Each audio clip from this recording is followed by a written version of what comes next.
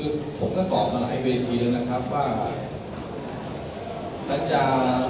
สัญญาสัญญาส่งผู้ร้ายข้ามแดนเนี่ยนะครับ เรามีแค่16ประเทศนะครับ แต่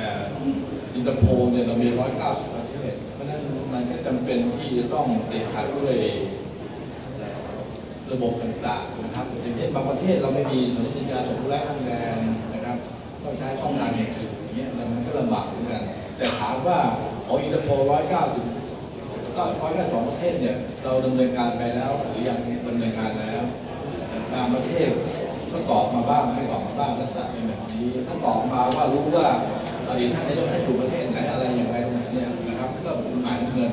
หลังจากนั้นเราก็มาออกหมายแดงต่อแค่นั้นเองหลักการมีง่ายๆนะครับส่วนคุณยิ่งรักษณ์แต่ถ้าเขาจะตอบหรือไม่ตอบเนี่ยเราไปบังคับเขาไม่ได้กรณีคดีข้อหาคุณยิ่งรักษณ์เนี่ยค่ะ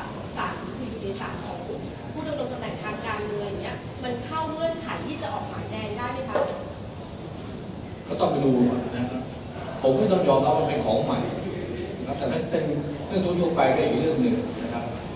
แสดงว่าเราได้ติดต่อประสานงานในการขอออกหมายแดงแล้วใช่ไหมคะขณะนี้ติดต่อหมายน้ำเงินอยู่ขั้นตอนนี้ ถ้ารู้ว่าหลบซ่อนอยู่ที่ไหน ให้พัฒนาไปถึงหมายแดงนะครับส่วนที่ท่านรองสุรานในการนำเสนอในการที่จะขอออกหมายแดงวันนี้ผมรายงานให้ท่านทราบในทางการ ก็คุยกันจะคุยเรื่องอื่นตอนนี้ในส่วนข้อมูลนั้นคุณยิ่งรักษณ์อยู่ที่อังกฤษตรงกับของท่านศรีวราไหมคะก็ได้ข่าวมาเฉยๆก็ต้องไปพิสูจน์ทราบนะครับความสัมพันธ์ระหว่างตำรวจไทยกับอังกฤษเรามีเรื่องส่วนข่าวเนี่ยมันมีทั้งบวกและลบนะครับข่าวยกตัวอย่างข่าวร้อยเปอร์เซ็นต์เนี่ย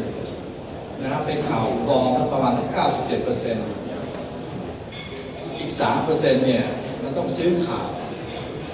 ในระบบการทำงานนะ